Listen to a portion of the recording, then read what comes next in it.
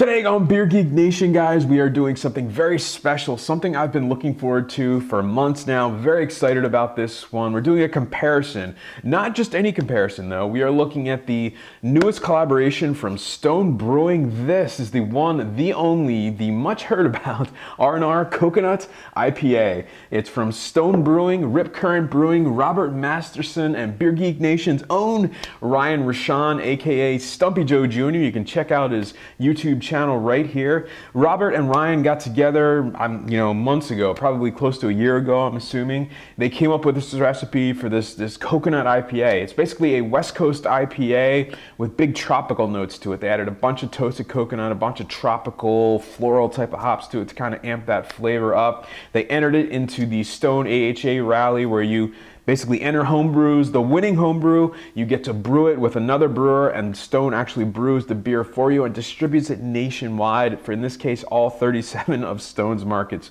which is absolutely awesome for Ryan and Robert. Just amazing. Obviously, they won, and this is the final product coming in at 7.7% alcohol by volume, but Beer Geek Nation does not stop there.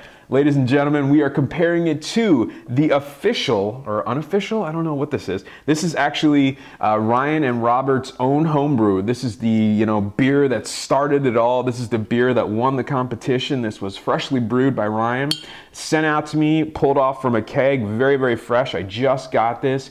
You know, basically specifically just to do this video to compare his original their original homebrew version versus the stone version um, but let me get this one let me get them into a glass let me compare it to you guys i'll let you know how they taste smell and give you the final verdicts on both the Stone R&R Coconut IPA and the Robert and Ryan Homebrew R&R Coconut IPA.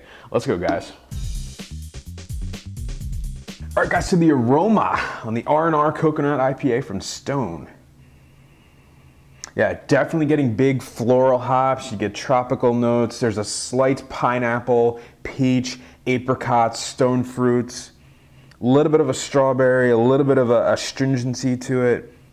Nice kind of bready maltiness. Very, very, very light undertones of, of uh, coconut. I have let this beer warm up to about the proper serving temperature, about 45 degrees. And I'm definitely getting a, a, a subtle sweet coconut um, flavor that's playing off the hops really, really nicely. Now moving on to Ryan and Robert's homebrew version.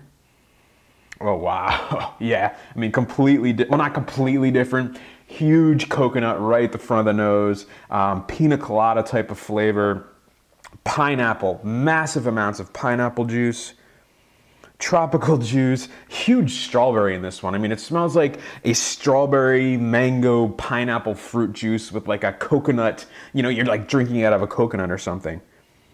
Yeah, just awesome, awesome stuff. All right, guys, so the taste on the Stone R&R Coconut IPA.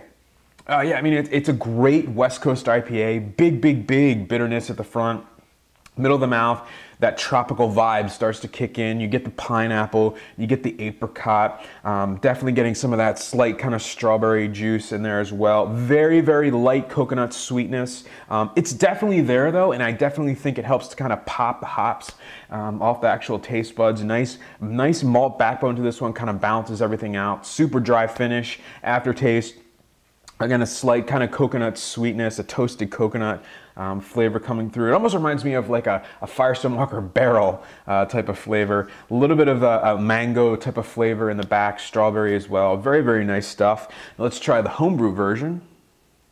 Oh wow, yeah, you definitely, the taste is definitely closer together than the actual, I think the aroma is. With Ryan and Robert's homebrew version though, right the front of the tongue, not as bitter.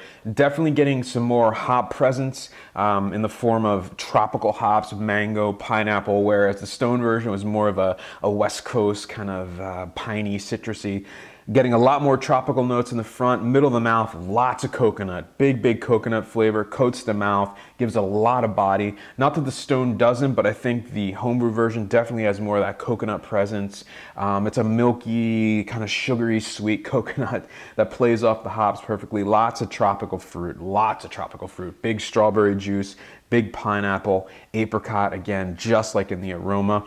Pretty sweet finish on this one, not cloyingly so, but definitely sweeter than the Stone. Um, what's funny is that this is very untraditional for a West Coast IPA. So coming from Ryan, it was funny to see that, whereas Stone, I think, kind of took it and kind of made it an official West Coast IPA. This one's definitely sweeter, definitely more tropical. You get that pina colada type of IPA flavor off this one. I should mention it is a slight variation in hops, but it's the same malt bill. Different yeast, but not that much. Brian uses the San Diego Super Strain for this particular batch. Uh, Stone used the WLP 001, I believe, which is the Cal Ale uh, from White Labs. But you know, if you were to hand these side by side, I would might say they were different beers. Ryan's by far, Robert and Ryan's by far has more coconut, more sweetness, more of a tropical vibe. Stones definitely has that coconut, but it's more of a West Coast Imperial IPA to me, more, you know, dry and hoppy. Very, very different beers, but there's a common thread between them. The, the bitterness and the hop profile is very similar. I think the difference, though, is definitely the coconut in Ryan's, and it definitely kind of amps it up for me and makes it a better tasting beer, but not that this is bad at all. All right, guys, so the final verdict on the Stone R&R Coconut IPA versus the R&R homebrewed version of the Coconut IPA. Um, again, got to give a huge thanks to Ryan for both of these beers and allowing me to do this video. I feel a little bit awkward rating these beers, but it's, you know, I think it's, um, it's something I wanted to do, and I think it's, hopefully, it's something Ryan wanted to see. Um, you know, for me, the Stone R&R Coconut IPA, removing, you know, the Ryan element from it, kind of looking at it as, as objectively as I can, is definitely a B plus beer. It's a great Stone offering. It's nothing I don't think Stone has not done before. Um, you need to let this beer warm up a little bit though to get that kind of coconut sweetness in there. It's very, very subtle, but it does kind of accentuate the hop characteristics. For me though, the hop characteristics on this I think might be a little bitter. I think they're maybe a little bit too much and maybe that's because Stone's brewing system is just so efficient that if they did use Ryan and Robert's recipe and their system is more efficient, they're going to get more hop utilization. It's going to be a little bit bitter, a more bitter. The IBUs are going to be a little bit higher. You know, they do centrifuge the beer, they do filter the beer. They did use technically less coconut than they would have had they brewed Robert Ryan's um, you know, batch and just scaled it up. But you know, on a 120 barrel system, these this is what you have to do to be financially viable. So I completely understand it. But what I can say about this beer, it's a very, very good stone beer. It's a great West Coast IPA. The coconut is definitely there. It's subtle, but it accents the hops perfectly. Please, please, please let this warm up to the proper serving temperature, which is about 45 degrees, and you're going to get that coconut. You know, I, I just don't want to hear that the coconut is there. It's definitely there. Now, the homebrew version for me is easily an A. It's an A beer. Um, I've had this beer a couple times. I had the chance to have it at NHC back in, I guess that was in July. Um, uh, Ryan brought out a couple bottles. I liked it then. I like it now. There's just so much more coconut in this, and it plays off the hops so much nicer. Um, definitely more tropical sweetness, definitely get that pina colada type of flavor, which I think they were really going for and they absolutely nailed in this beer. It's clean, it's refreshing, it's really unlike anything, um, at least in IPA form that I've ever had. That coconut just works perfectly. Um, so my hat off to them. This is a killer beer and Stone I think did a really great representation of the beer, but is it a you know exact copy of the beer? Absolutely not.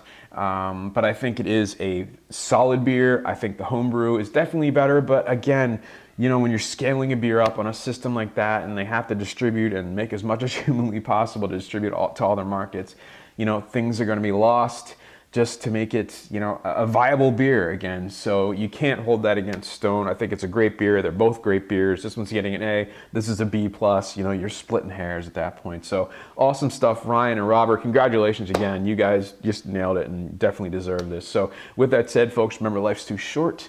Drink amazing beers. Cheers.